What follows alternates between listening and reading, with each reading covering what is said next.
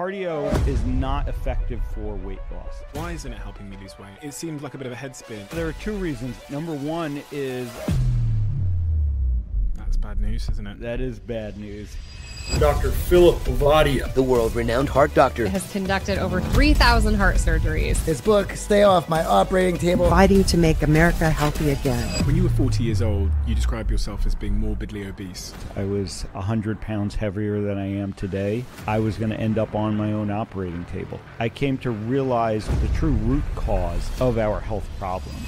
Sugar is more addictive than heroin. Processed food is addictive. 88% of adults are not healthy, and 600,000 people die from heart disease every year. If we don't change the course in the next 50 years, we're not going to have a society left a very young woman, a 30 year old, ended up on my operating table. And I had to go tell her young children, I'm sorry that we weren't able to save your mother.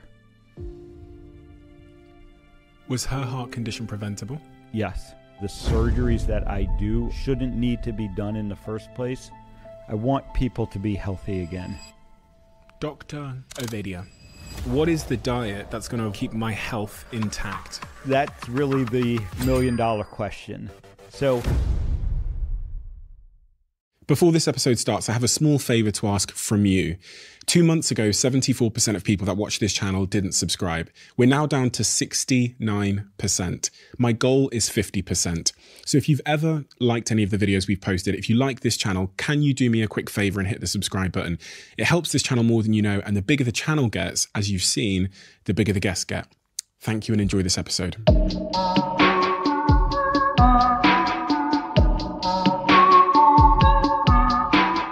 Dr. Ovadia,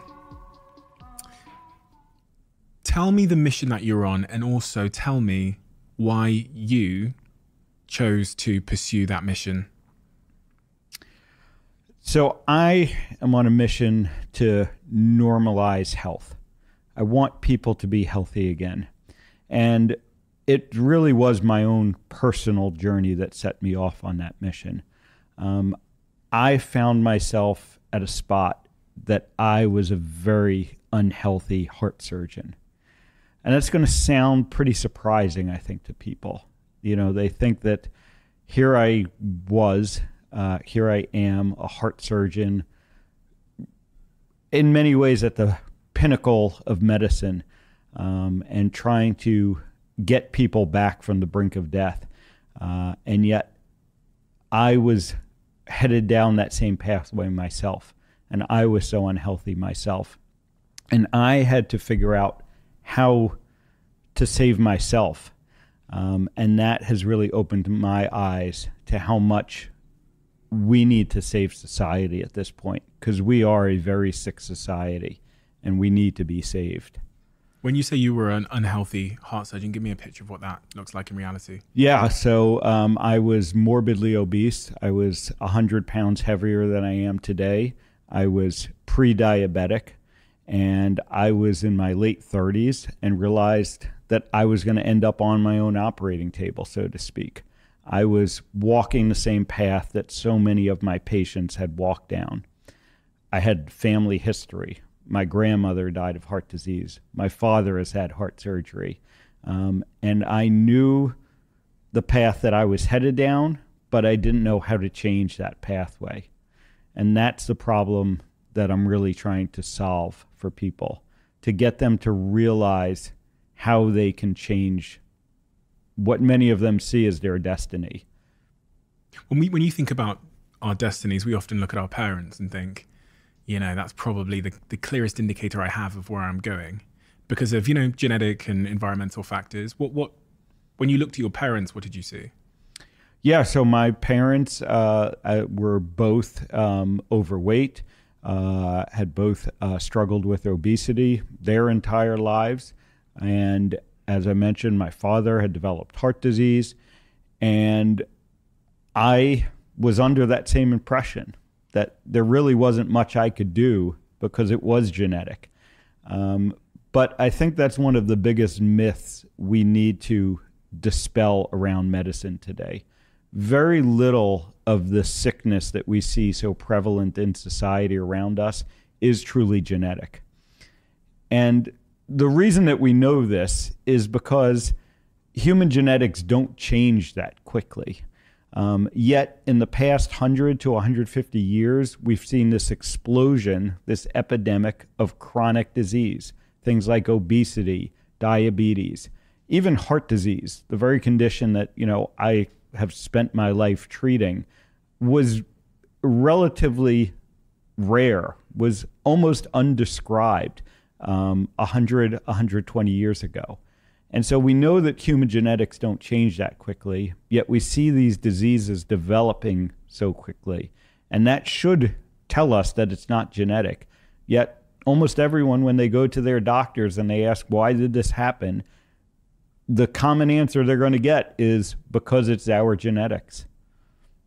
Was there a was there a a moment like a turning point, a fork in the road, a moment where you looked yourself in the mirror and thought, today is the day where I have to make a change? You know, there were many times during my life when I told myself that.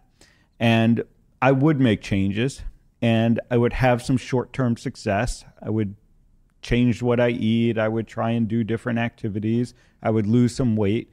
Um, but like many people have experienced, it didn't last over the long term. Uh, my turning point really came a little bit unexpectedly for me. I was actually attending a medical meeting, a uh, conference of heart surgeons, and uh, the speaker, one of the guest speakers, was a journalist um, by the name of Gary Taubes. And uh, he had just written a book uh, at that time called The Case Against Sugar. Prior to that, he had written um, Good Calories, Bad Calories, and Why We Get Fat. And as I sat there in that audience listening to Gary talk, uh, and Gary introduced some concepts to me that I really hadn't heard before. Uh, that the types of food that we eat may be more important than the amount of food that we eat. And it made a lot of sense, and it sent me down a pathway where I started to think differently about my health. And so I read Gary's books, and um, I eliminated sugar at first and started changing the foods that I was eating. And I had the same short term success that I had had before. I was able to lose a bunch of weight, and I said, This is great. But I realized that something was different um, because month after month, year after year, um, I was able to maintain it. And I was, as I learned more, uh, as I walked down this journey, I came to realize what is at the true cause, the true root cause of our health problems. And understanding those true root causes of our health problems is what has now led me to the long term success.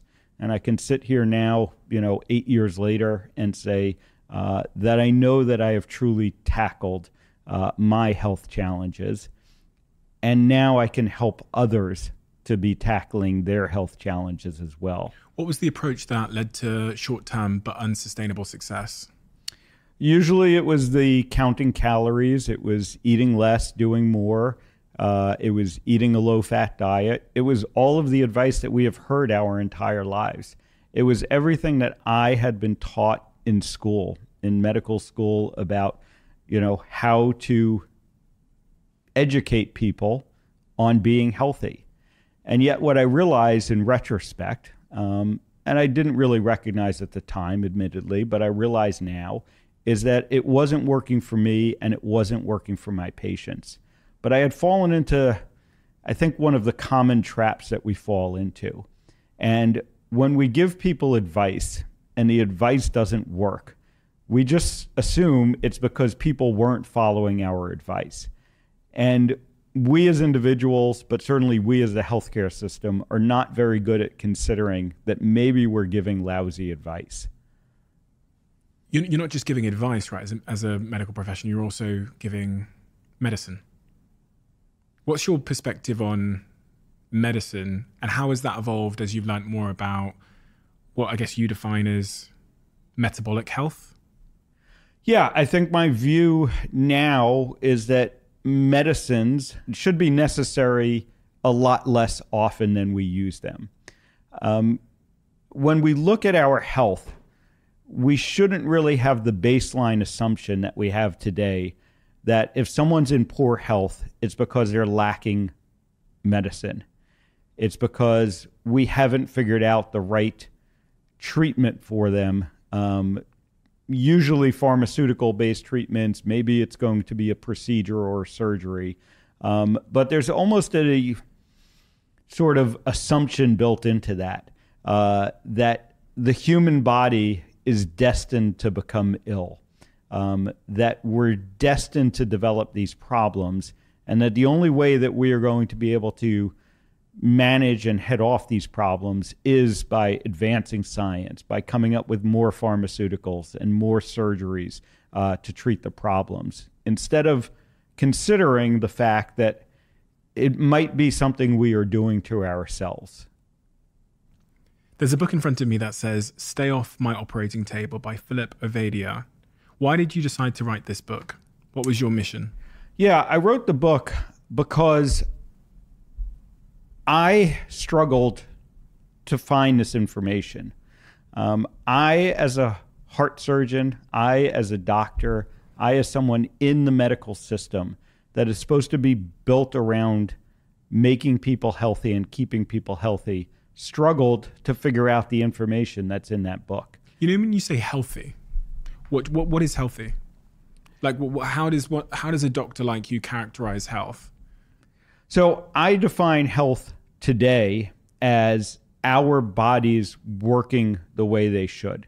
Um, so you know, I talk about metabolic health in the book. What's that? And the way that I define metabolic health is that our bodies are properly utilizing the inputs that we are giving it.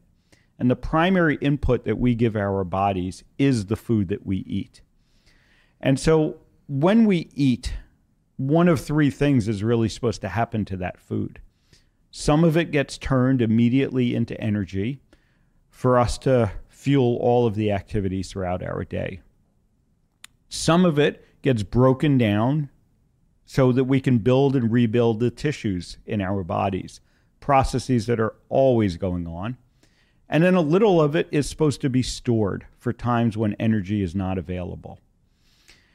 And what has happened in our modern environment is that system has broken down. And we end up storing too much of the energy, and we end up not being able to ever use that stored energy. And that has a whole host of downstream problems that it creates. And these are things like heart disease that I treat every day. These are things like diabetes, cancer, Alzheimer's disease. Um, all of these chronic issues that we see becoming so common in our society today. You're a heart doctor. What's been the um the most emotionally challenging day of your career? as a heart doctor? Well, it's actually the opening chapter of my book. It was the day uh, that a very young woman ended up on my operating table, and she did not make it off my operating table. She came to me with a devastating cardiac condition. Me and my team spent over 10 hours trying to save her life but ultimately we could not save her life. And I had to go tell her young children that their mother was not coming home to them. That was the most challenging day of my career. And that was a day that I realized things had to change that was one of the days that set me on this pathway, that set me, made me realize the mission that I needed to be on to keep people off of my operating table. Was her heart condition preventable? Yes. Can you give me her, some color into in terms yeah. So she developed a condition. It's called an aortic dissection, where her blood vessel leading out from her heart tore. And that comes from high blood pressure. And she had high blood pressure that wasn't adequately addressed, wasn't adequately treated. And I believe that her condition was 100% preventable. I believe that if her physicians had understood that her high blood pressure was because of the food that she was eating, if they had given her better advice around the food that she could be eating and the impact that this was having on her life, um, that her path could have been changed. She was metabolically unhealthy, in your view? She was metabolically unhealthy. Clinically obese? Clinically obese, high blood pressure. I would say she had probably all five measurements of her metabolic health ab- abnormal.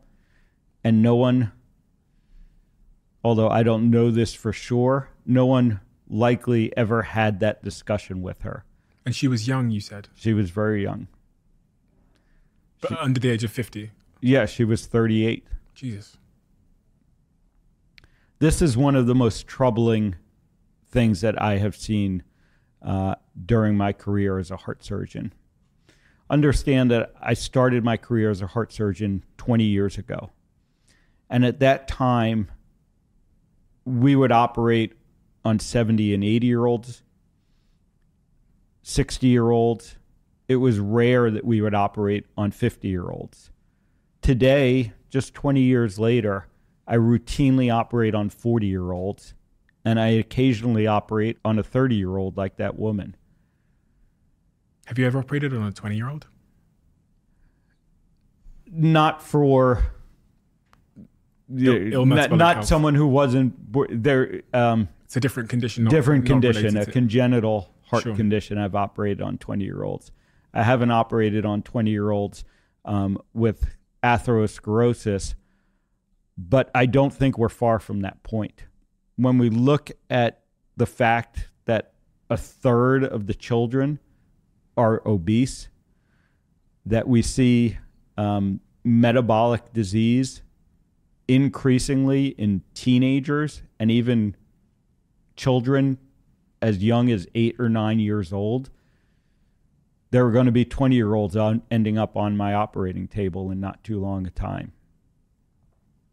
I was going to ask you earlier on why all of this matters. You know, sometimes I flick around in my head and I, I think, well, you know, if I live to 60, 70, you know, if I live to 60, but I just have loads of fun.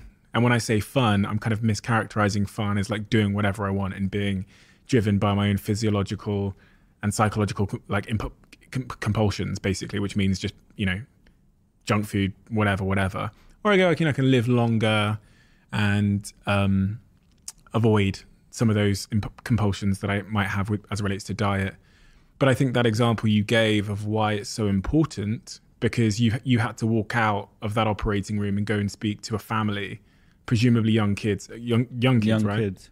Yeah. That were how old? Mm, at the youngest one, I believe, was three or four.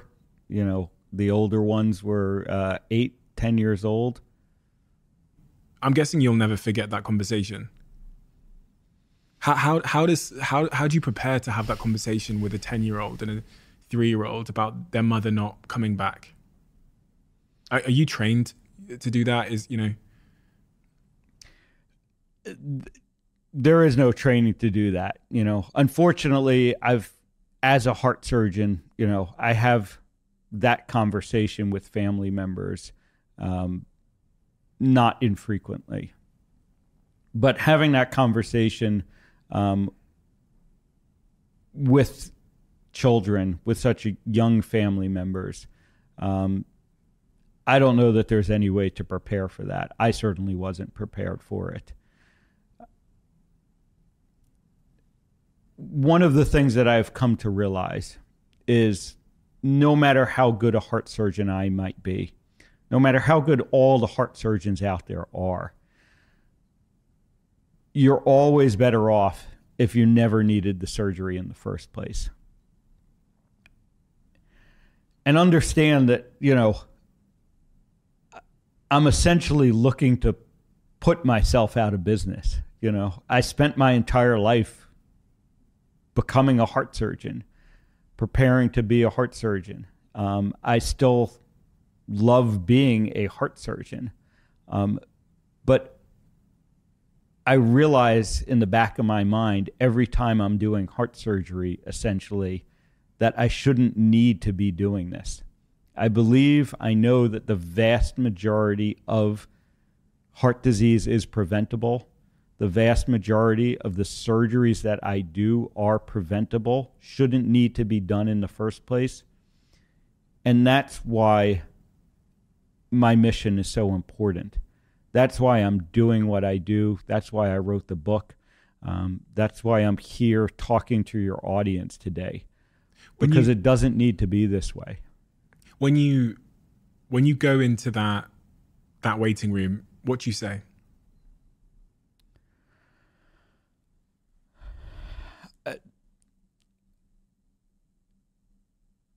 I said I'm sorry. I said I'm sorry that we weren't able to save your mother.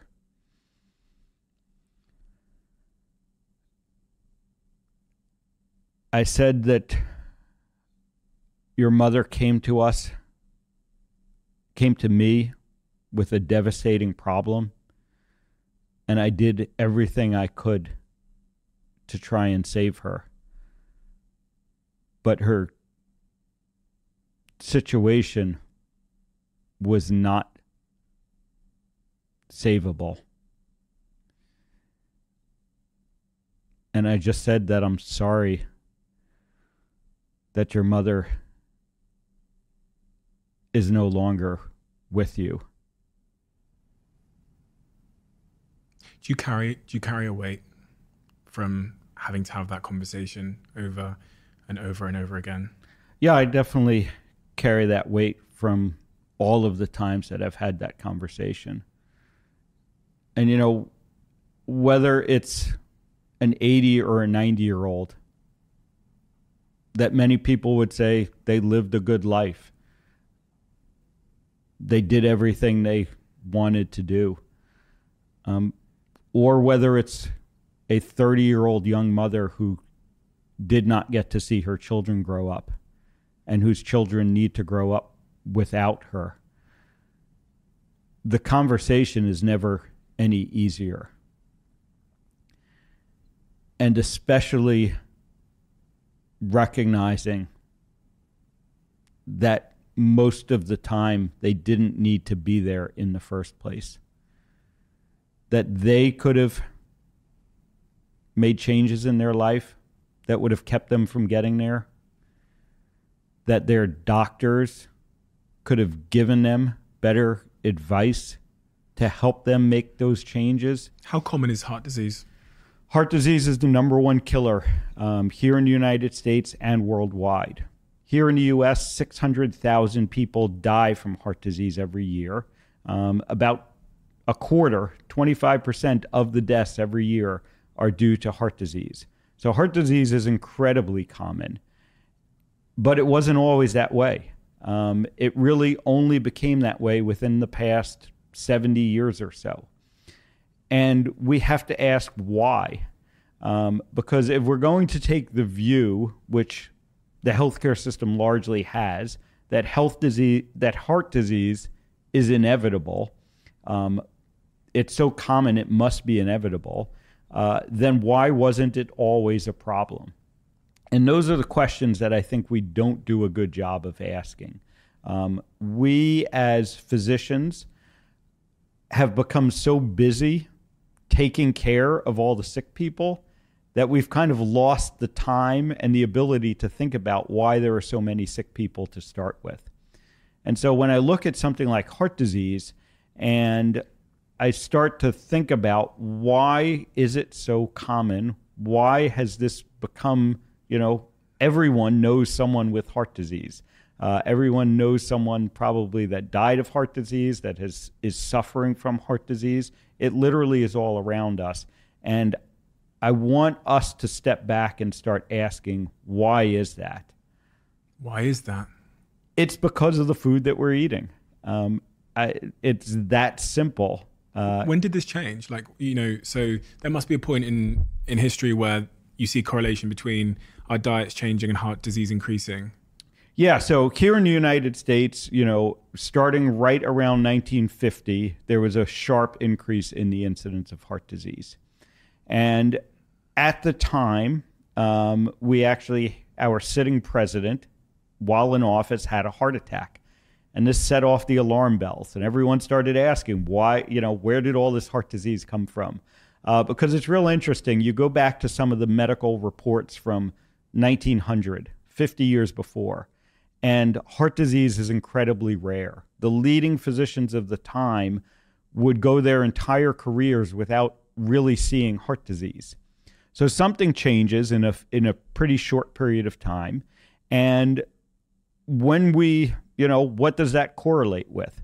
It correlates with the introduction of processed food, um, things like, uh, you know, sugar, the consumption of sugar starts rising dramatically along with uh, the incidence of heart disease.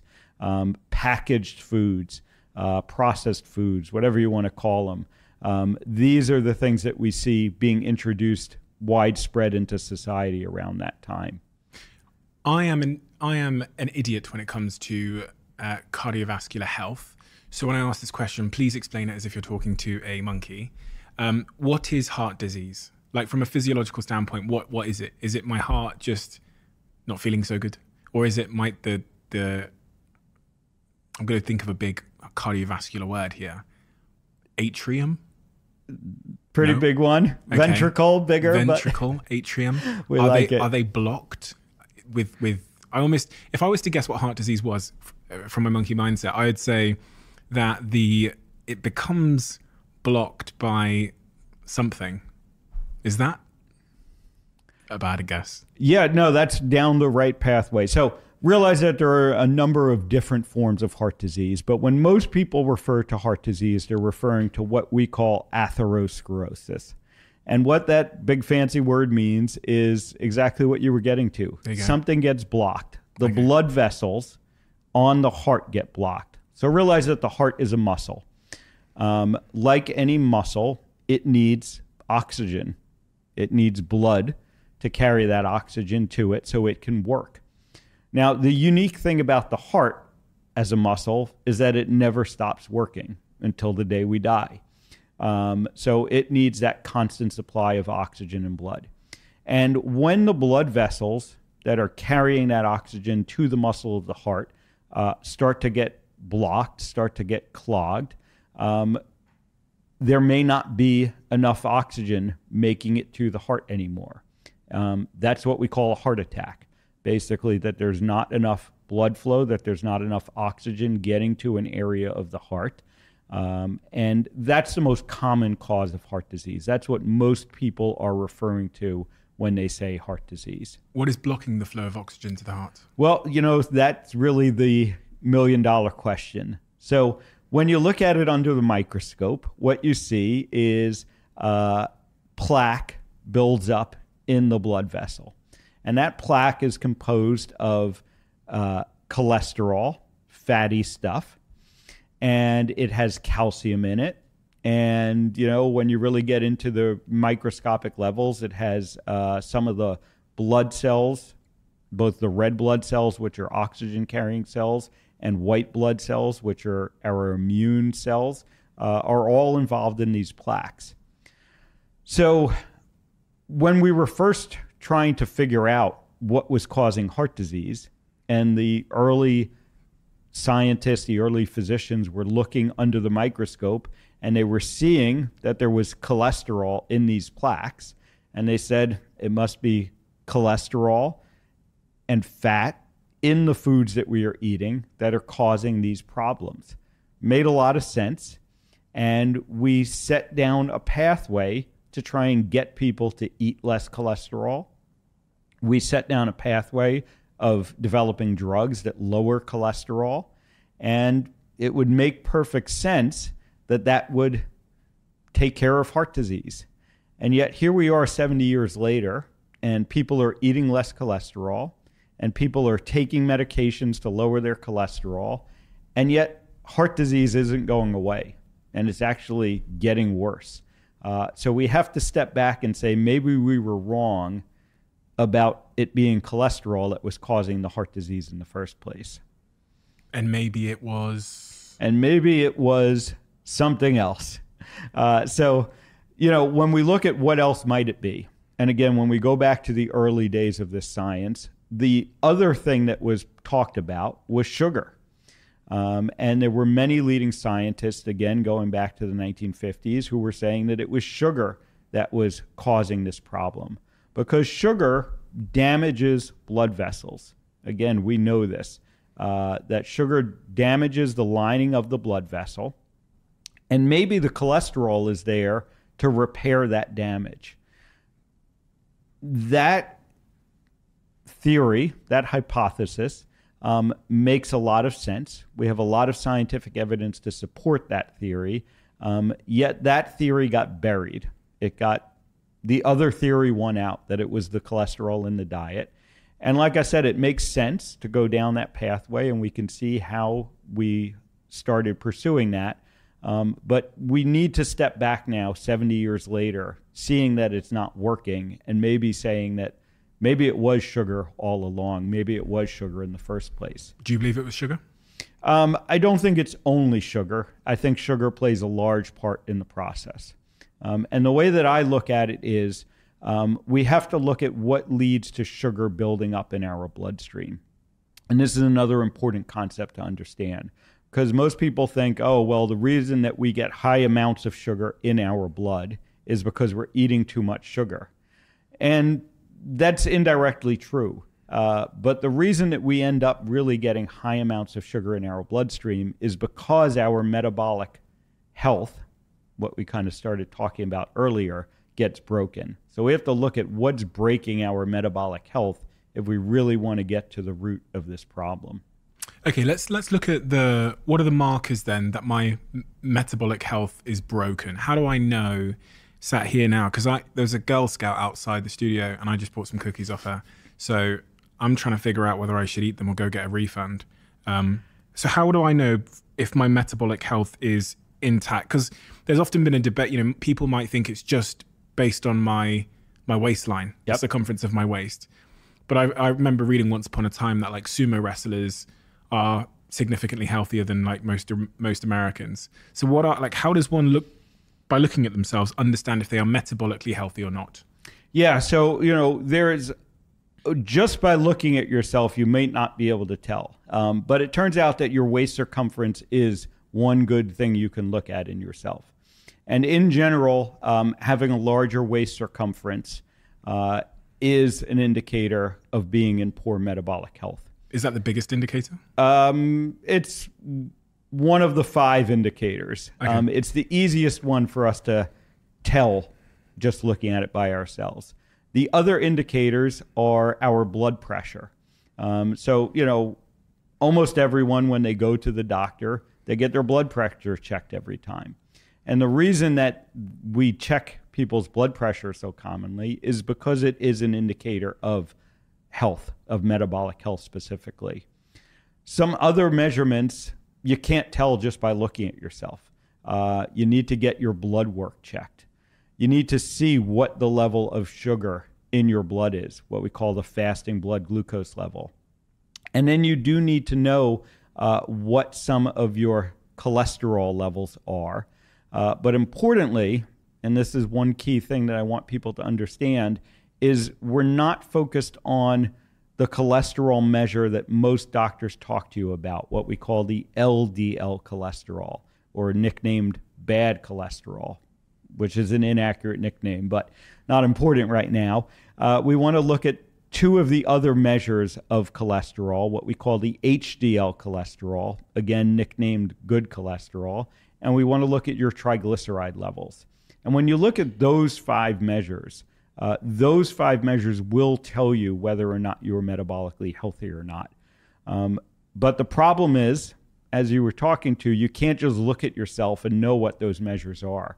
You have to put the effort in to figure out if you're metabolically healthy or not. the statistics are actually pretty shocking um, because we have statistics again here in the United States uh, looking at data from 2016 that show that 88% of the adults in the United States are not metabolically healthy. So when you look at those five measures, they can't meet all five measures of optimal metabolic health. That's nearly everybody. That's nearly everybody. And you can say, well, maybe it's all of the obese people. Um, but when you look at people who aren't overweight, who aren't obese, 50% of them are not metabolically healthy. You talk about this concept of being skinny fat Yep. in your book. Yep. I think my friend called me that one day when he was trying to insult me um, a couple of years ago. What does what does skinny fat mean? What is what is that? Yeah, so skinny fat, um, it will oftentimes be referred to as TOFI, thin on the outside and fat on the inside. And what that really means is that we have internal fat around our organs, specifically in our abdomen, around our liver, around our pancreas, around our kidneys, um, that may not be obvious from the outside.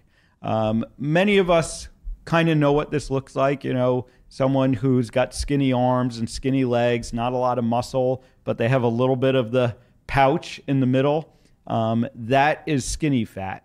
Uh, and again, unless you're measuring it, unless you're looking for it specifically, you might not pick up on that. And it is a big problem. Many people, you know, uh, hypothesize that actually getting fat, getting obese on the outside is a protective mechanism. Because um, it's really when you get fat on the inside that we see the damage start to occur. Things like diabetes, things like heart disease really start to manifest when you get fat on the inside.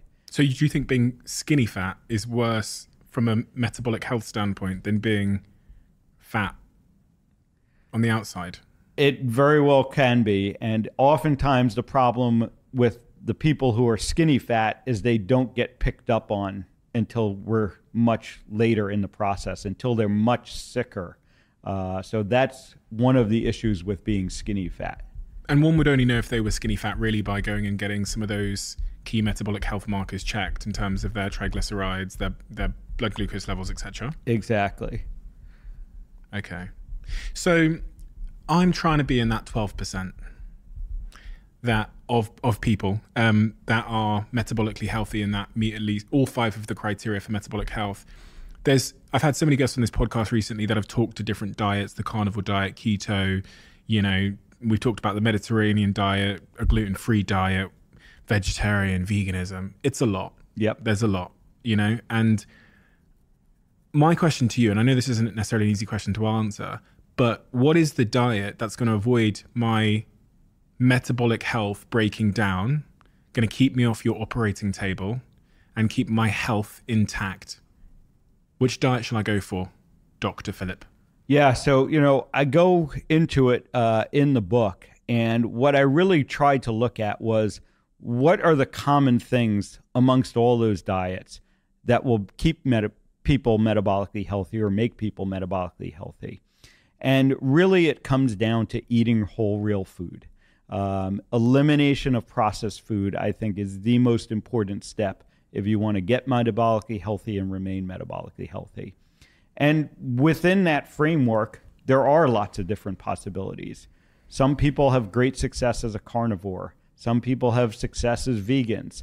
Um, you can do keto, you can do Mediterranean, um, you can do paleo, you can do lots of things in between. But when you really look at what is the one commonality that we can point to that will predict the best success of being metabolically healthy, it's eating real food, eating whole real food. What is whole real food? Yeah, great question because sometimes it? it's hard to tell these days. Yeah. Uh, so the rule that I, you know, the the kind of rule that I give people around eating whole real food is eat the things that grow in the ground and eat the things that eat the things that grow in the ground. Um, so these are going to be your plant products and these are going to be your animal products. So you're pro animal products? I am very pro animal products. I actually think that when you look at the balance between the two, um, you're probably better off eating more animal products uh, than more plant products. And again, that's something that goes very counter the mainstream narrative. Um, understand that as human beings, we evolved eating animals, we evolved eating meat. Our bodies are uniquely designed to process that meat. Our bodies are not well designed to extract nutrients from plants. Um, and in fact, when you really look at the sort of evolutionary system, what developed is that the the animals, especially ruminant animals with multiple stomachs, they are designed to extract nutrients from plants. Those nutrients end up in their muscle, in their meat, and then we are designed to get the nutrients from the meat. So I do think that meat, animal proteins are essential to human health.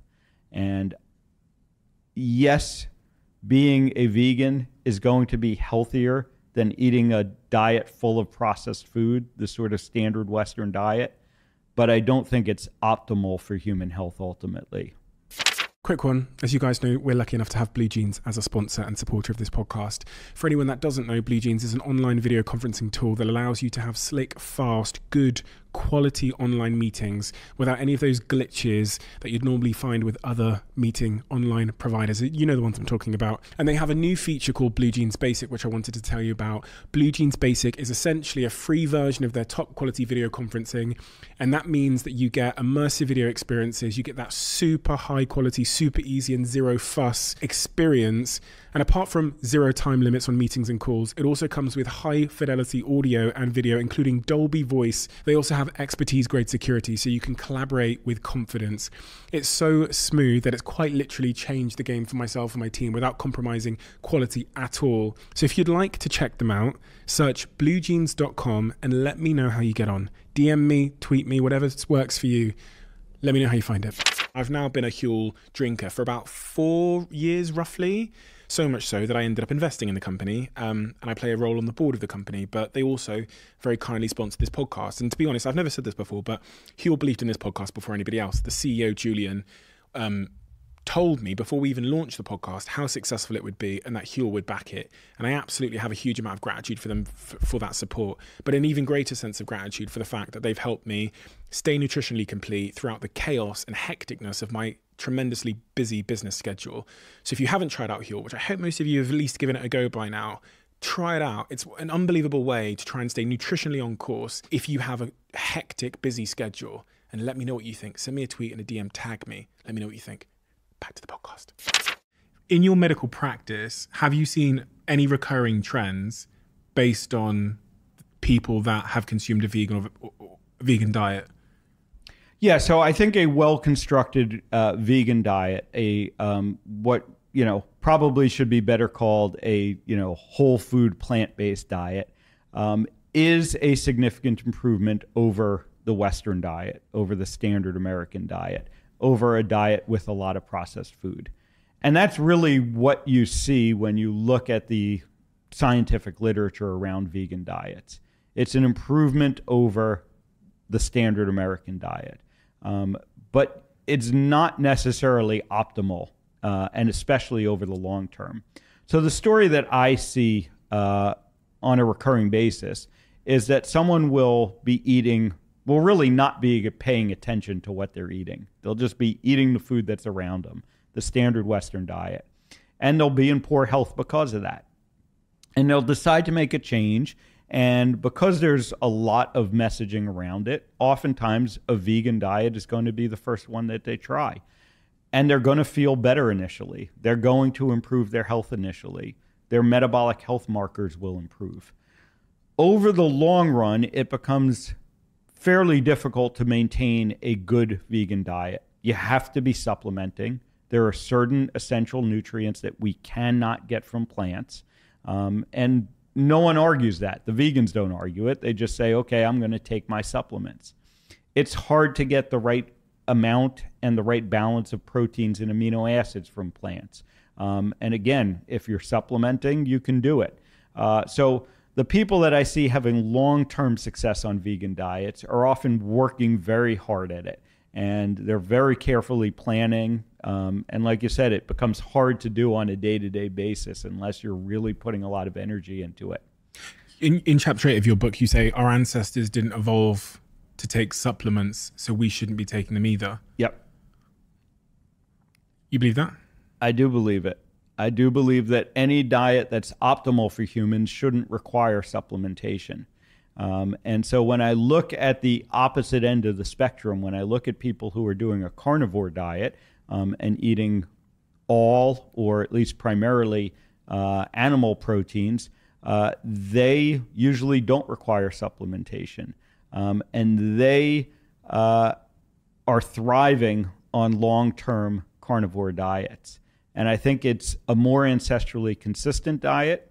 And I think that it is, um, in a lot of ways, easier to maintain. Uh, you don't have to quite do all of the planning that goes into a vegan diet.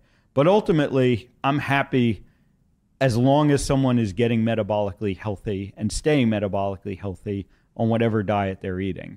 And so I don't, I'm not dogmatic. I don't tell all my patients you need to be carnivore. I work with people on vegan diets.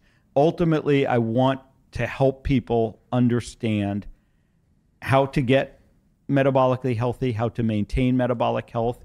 And if they do it as a carnivore, if they do it as a vegan, if they do it somewhere in between, um, I'm happy for that. And I believe that should be our measure of success when talking about metabolic health, you know, you lay, lay, out these seven principles that will help us achieve that that optimal metabolic health. One of them, and the first one you say is to reframe health as a system, not a goal. What does that mean? Yeah, so I think this is a real important first step in this process. Um, it's really the mindset behind it. And when I say I want you to think of your health as a system, not as a goal, um, what I mean is that I don't want us so focused on the short term, which is one of the mistakes that I oftentimes see around health. So many people, you know, we kind of talked about it earlier, will say they recognize that they're unhealthy and they want to make a change. Oftentimes, this is around their weight. And they'll set a short term goal. They'll say, I want to lose 20 pounds. And one of two things is going to happen in that scenario. You're going to make a bunch of changes. Hopefully, you're successful. You lose the 20 pounds and you say, Great, I accomplished my goal. Now I can go back to what I was doing beforehand because that's just the natural uh, inclination I think that we have as human beings. Um, we don't want to continue to put that work in.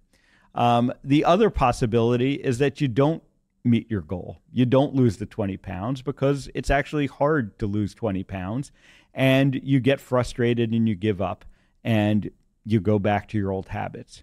So instead, what I encourage people to do is think about their health as a system and think about the habits that are going to support that system. It's a more positive way to think. Um, what are the habits that I can adopt to support my health? more sustainable. People can do that over the long term because when we're doing positive things to improve ourselves, we can do that over the long term. If we're taking away things, if we're restricting ourselves, we aren't very good at doing that over the long term. Number four of your seven principles for metabolic health is about exercise. Um, in the book, if I remember correctly, you say that exercise isn't the best approach, isn't the only approach one should consider when thinking about dropping weight and reducing waist size. A lot of people might be surprised by that. Yeah, so um, some of the concepts that I talk about in the book around exercise, um, the way I uh, phrase it is I want you to get more activity. Um, one of the mistakes that I see people making is that they um, focus on doing periods of exercise.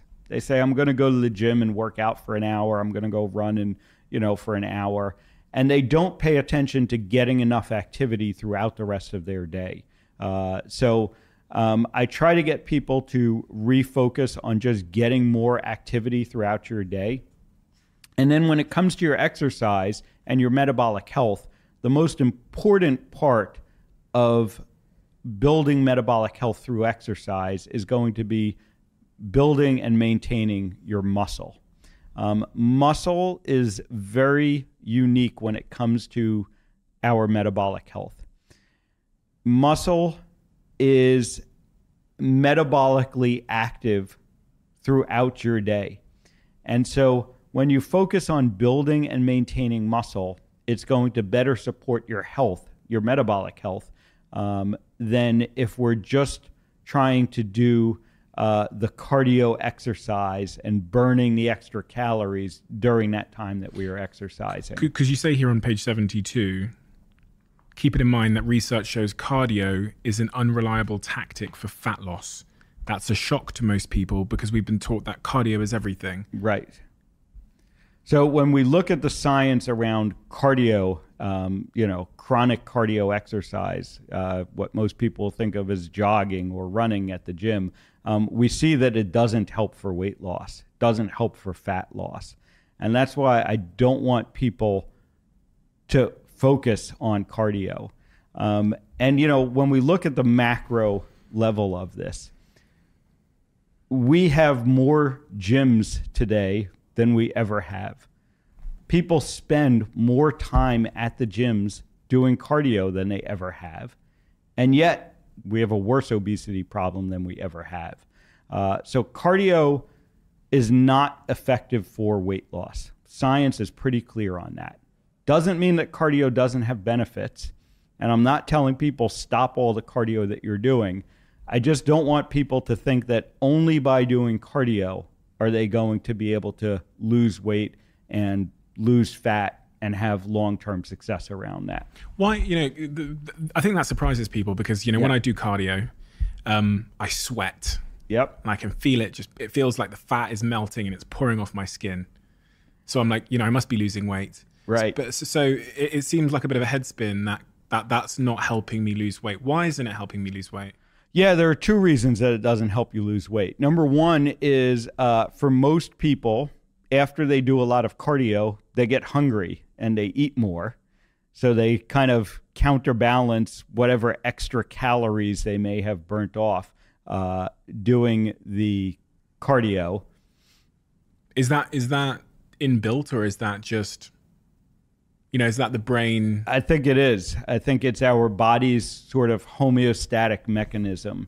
Um, and the other problem um, with, you know, thinking you're going to uh, lose weight just by doing cardio is it's really relying on the calories in, calories out model. Uh, so again, the underlying assumption there is that if we just burn more calories, um, that will compensate for the extra calories that we've been eating. And again, we see that that doesn't work over and over again. We know that our body actually adjusts the amount of calories that it burns. And if you go and you do that hour at the gym, during that hour, you're going to have burnt more calories. But during the other 23 hours of the day, your body is actually going to burn less calories to make up for that. Well, that's bad news, isn't it? That is bad news. Uh, and, and, you know, the extra point there is when we build muscle, muscle build muscle burns more calories throughout the day. So that's the other reason that the focus on muscle building um, is really the most effective way uh, to exercise your way to weight loss.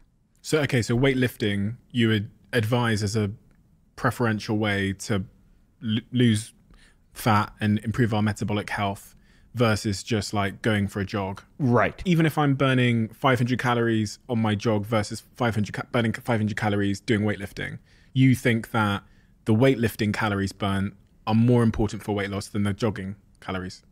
Yeah. So when we look at the science around uh, building muscle, resistance exercise, um, as I said, we see two unique benefits to building muscle. Um, number one is that that muscle is going to be more metabolically active tissue that we're going to have on us all the time. So we're going to be burning more calories throughout the day despite you know the activity that we're doing. But but aren't we just going to get more hungry? Um, we don't seem to get more hungry from those. Uh, I- I guess from that metabolic activity. It's not the same as doing the cardio making us more hungry. The other unique thing about muscle, though, to understand is that as we age, the more that we are able to maintain muscle, the better quality of life that we have and the longer we are going to live. And again, this has been shown in uh, repeated studies, many different areas, uh, heart disease included, uh, that building and maintaining muscle as we get older is one of the best strategies for living longer and for living better. It's a bit of a downward spiral, though, isn't it? Because you know, I get older, maybe I'm a little bit more inactive, maybe I retire, um, and then I lose muscle, and as I lose muscle, I become more inactive, and the spiral, the cycle continues. So It- that you know, but it doesn't need to be that way. We can maintain muscle uh, throughout our older age, and the keys to doing that is to maintain your metabolic health.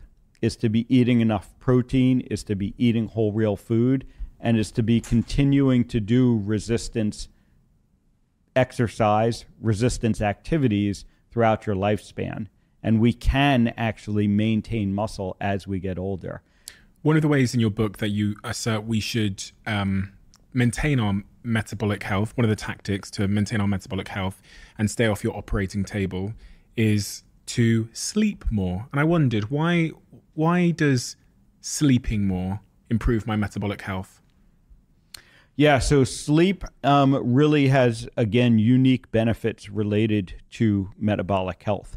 Um, when we sleep, um, that's the time that our body is really doing that rebuilding uh, process that is so key to us maintaining health. Um, we see a unique sort of uh, two way relationship between sleep and metabolic health. And uh, this is important for people to understand this. Um, when we are metabolically unhealthy, our sleep suffers. If you're not sleeping well, it can be a key indicator that you may not be metabolically healthy. We also know that people who sleep less are more prone to being metabolically unhealthy. Um, many different reasons why that might be. Uh, but ultimately, what I focus on is that in order to be metabolically healthy, you need to be getting enough sleep. And if you're not getting enough sleep, it very well may be a sign that you are not metabolically healthy. Can you give me maybe one hypothesis as to why that is? Why my metabolic ill health will cause my sleep performance to decline? Well, one obvious uh, thing that we can point to is sleep apnea. Uh, sleep apnea becomes very common as you get metabolically unhealthy. What's sleep apnea? Uh, so, sleep apnea is basically when you stop breathing for short periods of time while you're sleeping. And uh, we know it's very closely related to uh, metabolic disease. Um, I now have worked with many patients who have improved their metabolic health and their sleep apnea goes away. Uh, and again, the traditional view on sleep apnea in medicine is that it needs some procedure. Um, sometimes that's a surgical procedure, or it's things like wearing masks uh, to treat the sleep apnea. And what we don't do is ask why we have that sleep apnea in the first place. And again, it seems to be related to our metabolic health. And one of the fairly consistent things that I see in people as they improve their metabolic health um, is their sleep gets better. And those that have sleep apnea, it oftentimes improves or even goes away completely when they improve their metabolic health. And there's a weight loss component to that. Um, but we even see this in people who aren't overweight, they have sleep apnea, they improve their metabolic health, they don't even necessarily lose weight as part of that process, and yet their sleep apnea goes away. When you were 40 years old, you described yourself as being morbidly obese. Yep. Did you have sleep problems? Um, I probably did. I was never really uh, diagnosed with it. Uh, but um, my wife would certainly tell you I used to snore a lot. Right. And do you still have those any sleep problems at all now? No, I don't. Um, I no longer snore, and I feel well rested every morning when I wake up. Uh, so I no longer have sleep problems. You think you no longer snore. we can never be certain for sure. Uh, chapter two of your book, you say that, that there's 12 deadly food lies, and you highlight the 12 deadliest of those food lies. Um, one of them we've talked about already, which is, and that's the first one in the book, which is that only obese people are metabolically unhealthy. Um, we've talked about that a little bit. One of the the surprising ones um, out of the list is that you seem to have a have had a real I guess perspective change over the years about the role of the profession that you're in. And it, at times in your book you seem quite critical of doctors.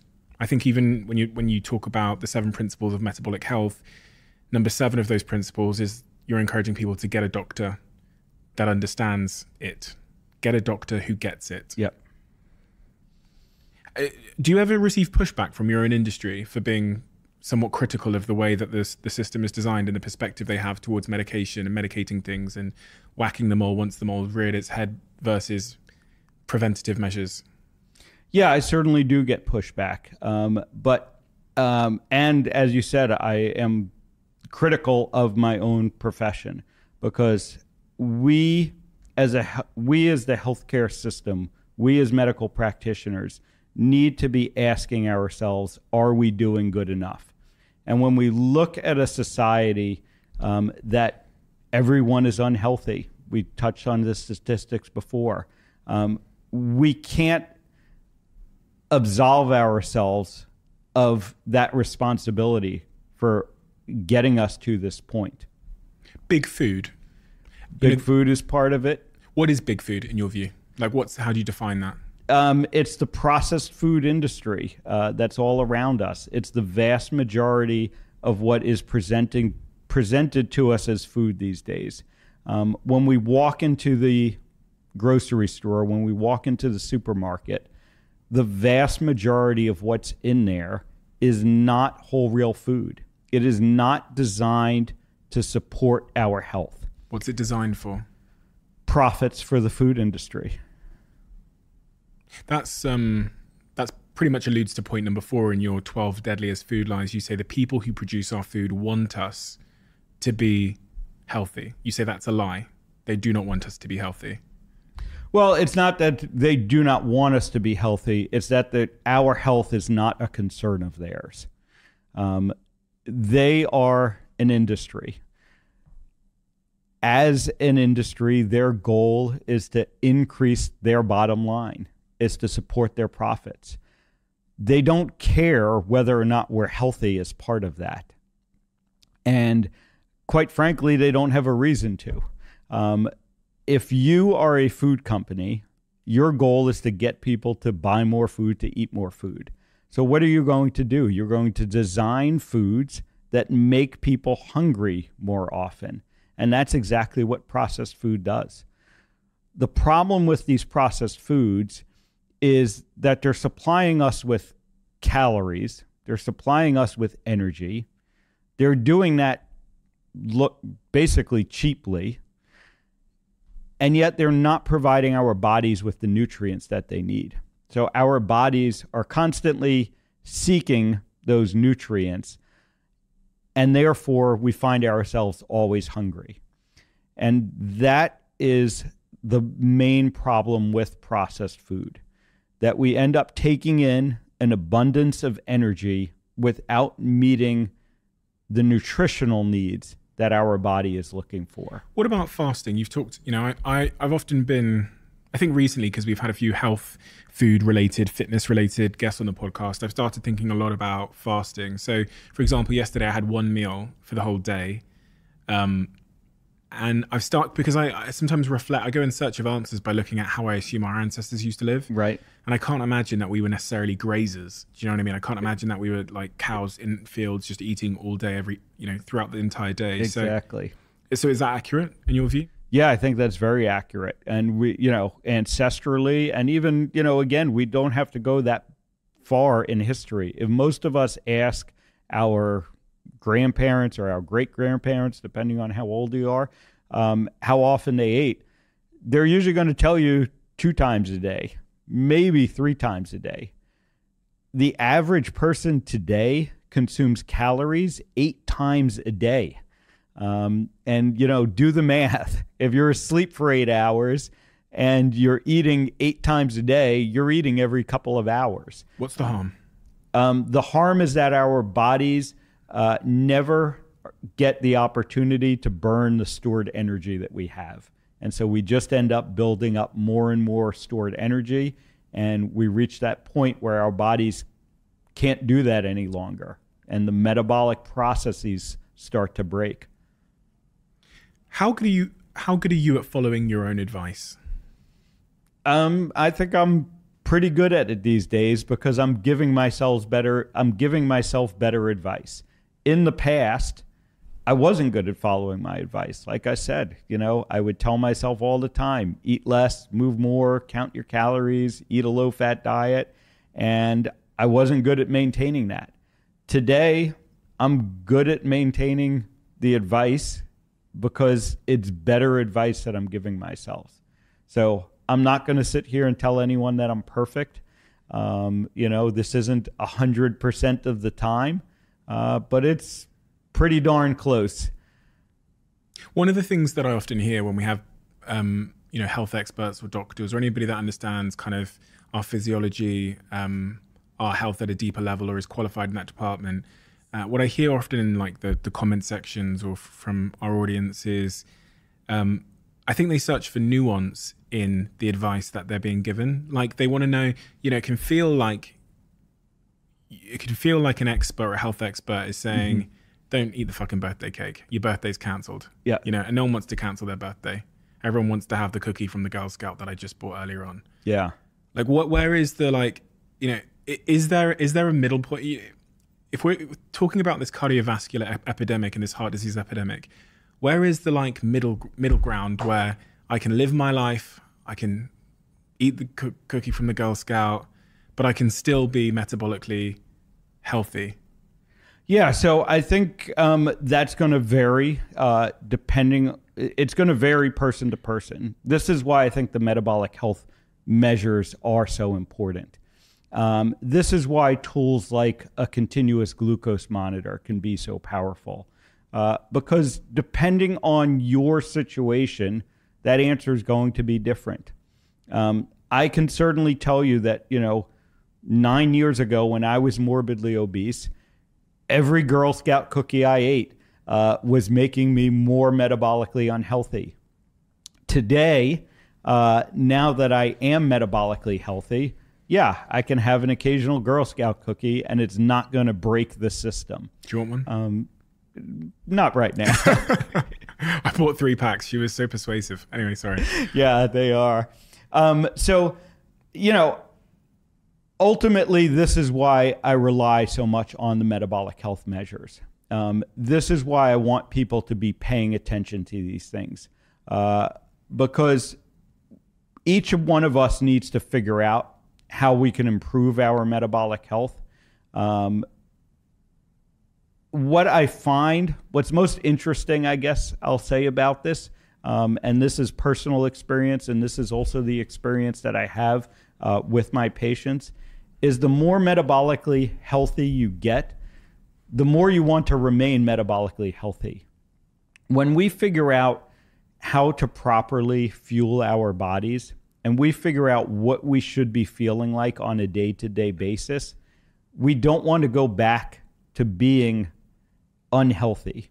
We don't want to go back to feeling like we used to.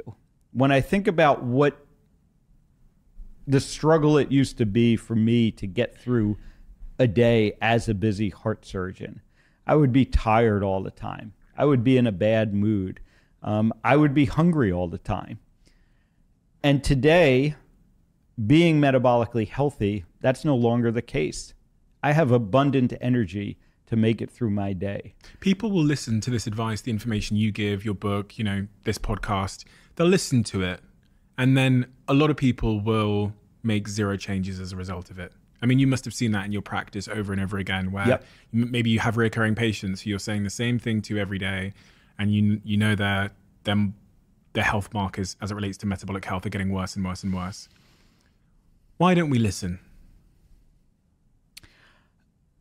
ultimately, I think we don't listen because we don't believe that it's possible to be healthy anymore. I think one of the biggest problems I see is we look all around us and we see that everyone's unhealthy and we just assume that we can't be any different. Well, if you're if you're one of those 88% who look around and see, you know, people everyone I mean everyone you must look at 9 in 10 will be metabolically unhealthy. So you must think that's the norm. The bar must be lowered per se. Exactly. Um, what I want ultimately, you know, we started talking about the mission that I'm on.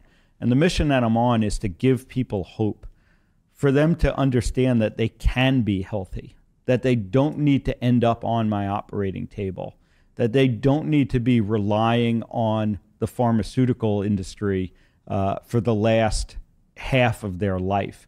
Um, On, on that point, though, of the forces that stop us from heeding the advice we're given and that we know to be true, it's not that I think a lot of time people know this stuff. Like they know that certain foods are good, certain foods are bad. We're at that point now in the kind of public consciousness as it relates to health where if you walk me through a supermarket, I think I'm probably at the point now where I can say, listen, I know that's bad. I'm going to get it anyway, but I know it's bad. Um, but also, you could walk me through, say, you know, the aisle where you have whole foods that have been grown in the ground or the aisle where animals who eat the stuff that's grown in the ground are. And I know that's good for me. But as it relates to like the forces, the psychological forces that are stopping me from eating that food every day, what are those forces? I- I'm assuming there's a chemical component to it. There certainly is. We we have the data, you know, that processed food is addictive. You know, sugar is addictive. Um, you've probably heard, you know, uh, that sugar is more addictive than heroin, and that comes from studies uh, where they look at, uh, you know, the addiction centers in the brain and how much they light up uh, with these different uh, chemicals, and there's evidence that sugar is as addictive, if not more addictive, than heroin. And sugar's like in everything. Sugar is in everything. The food industry, again, they know this. Um, it's not an accident uh, that the most addic- what may be the most addictive substance uh, on the planet is in everything they're trying to sell us. Um, it's there for a reason. If I if I give up sugar today, like a drug, like heroin, is does it does the desire for me to have it again wane over over time to the point where I won't have the compulsion to go grab the cookies anymore? my personal experience is yes it does you know i can i can certainly say today uh it, it- you know 10 years ago if you had asked me do you want the girl scout cookies the answer was always yes uh, today i can say i can live without the girl scout cookies um, so yes I, I i do know that that uh, like any other addiction um, after a period of time, uh, it becomes uh, less of a temptation. We'll see how you respond to the cookies when the cameras stop rolling. Um, we have a a new little tradition that we have started on this podcast. These are called the Diary of a CEO conversation cards, right? So at the end of every podcast, our guests for the last couple of years have written a question for the next guest in this book. We've now turned them into these conversation cards. You can see on the back of the conversation card a QR code where you, if you scan it, you can watch the answer and find out who answered it. And on the front, it has the question written and the name of the person that wrote the question. So you can play these at home with your friends if you want to have the kind of conversations we have here on the Diary of a CEO, get a little bit deeper with them and hopefully build your connections with them. Now, usually what I do is I spread them out in front of you and I let you pick one, but I'm actually going to stitch you up. So I'm going to pick one for you to answer. Are you up for it? I'm up for it. Okay. Let's do it. Let me go for one that I think will be difficult. Okay, here we go. This is the one I've picked for you. I might pick another one. We'll see.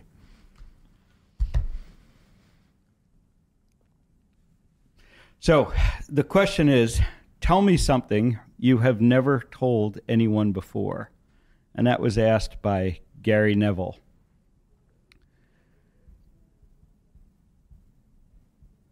I am not sure that I can solve the problem that I'm trying to solve. I'm not sure that I can complete the mission uh, that I now know I was put here to fulfill. Our problem around health um, might be too big for me to solve, but I'm not going to stop trying. Do you think it's too big for us to solve? Like at your core, do you think we're going to change direction as a society? Do you, do, do you honestly believe that based on everything you know, big food, big pharma, the way the human brain is wired, the direction of travel of humanity? Do you really believe people are going to stay off your operating table? Yes or no answer? Yes, I do believe it. But I am concerned. The effort, I'm concerned that we have gotten too far down the pathway, um, that we may not be able to truly solve this problem. I think ultimately, not everyone is going to be able to extricate themselves uh, from the situation that they're in. Are you married? I am married. Have you, you you live in Florida, right? I do. You got a nice house in Florida. I imagine you do as a heart surgeon. It's a pretty nice house. If I had if I asked you to bet the person you love and your house in Florida on whether we'd be in a better position in terms of the health crisis and our overall metabolic health in the Western world, in a better or worse position in 50 years' time, which way would you place your house and your wife? in 50 years, I'm going to bet we're going to be in a better position because if we're not in a better position in 50 years, we're not going to have a society left. And that I truly believe. What do you mean by that? I mean that we are literally collapsing under the weight of our own health problems. And if we don't change the course in the next 50 years, I worry that for my children, there isn't. I worry that for my children, there aren't going to be enough healthy people left in the world to maintain society for us. Have you ever ha- had any psychological support for? Because because if I had your job, I think I'd have a lot of sleepless nights. And I reflect on that conversation you had to have with that thirty-year-old mother with the kids.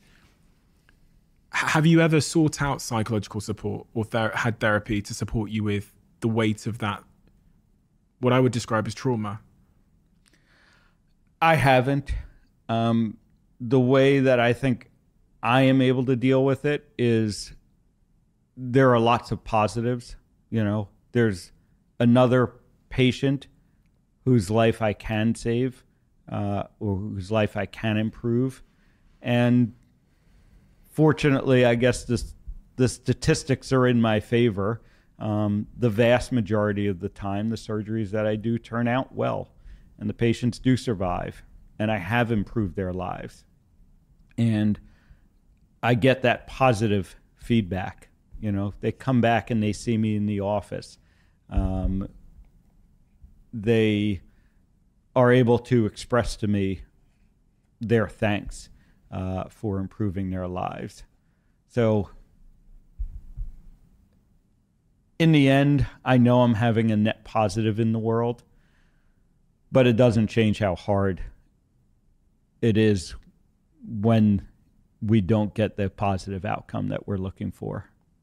Philip, I would have to agree. I think that you you definitely are having a positive impact in the world, and I think your your approach to targeting the root causes of the problem as opposed to just the problem itself once it's sometimes too late um, is an important conversation that we need to be having. And you know, people people must wonder why I've had so many of these like health related, food related um, conversations on this podcast, and it's because I'm I'm on that journey as well. I'm I'm on the um, on the road to learning more about how I can live a not just a longer life, but a fuller life. You know, life extending my life is one thing, but adding quality to my life over that extended period is, in my view, probably more important because I have no interest in living to 100 if I'm going to be, um, if I'm not going to have mobility, if I'm not going to be able to walk up the stairs.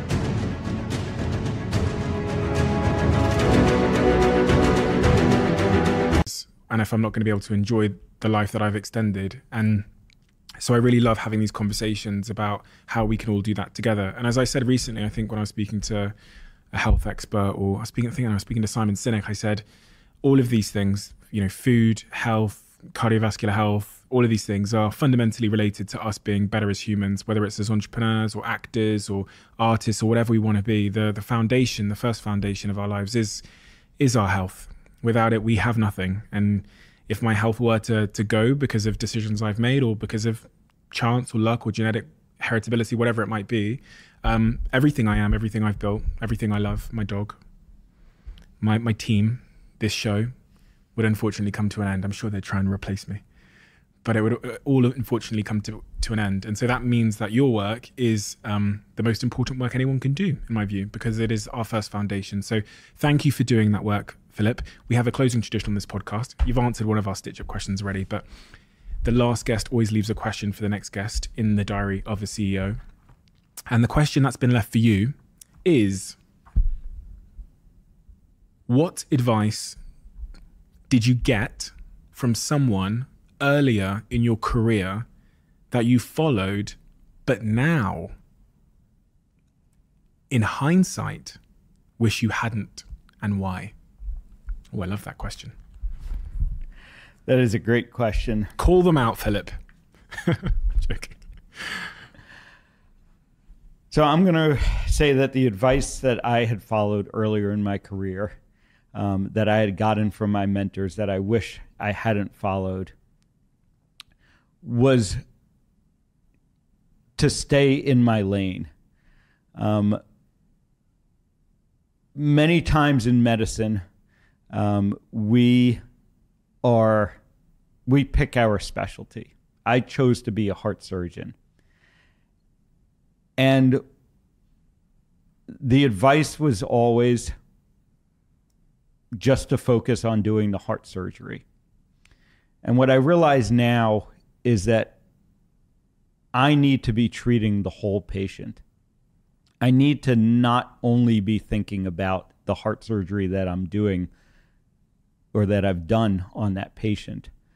But I need to be thinking about the whole patient and why they got there in the first place and what we can be doing to change their course. Working further upstream. Working further upstream, addressing the root cause of their problems. And even after they've been on my operating table, I don't want them coming back. I don't want heart disease to continue to be a problem in their life. Um, so I realize now, and I try to implement now, uh, that I am addressing that whole person and I'm not just addressing their heart disease. Well, Philip, I hope you the best of luck in your mission, and I, I, um, I do believe that in 50 years' time, because I'm an eternal optimist, I do believe that we'll be in a very much better place as it relates to metabolic health, in part because of the education and the information that people like yourself are committing their lives to sharing. Um, your book is fantastic. Thank you for writing it. Very accessible um, for someone like me who might not know the most about cardiovascular health, but I really enjoyed it and I really enjoyed our conversation today. So thank you. Thank you.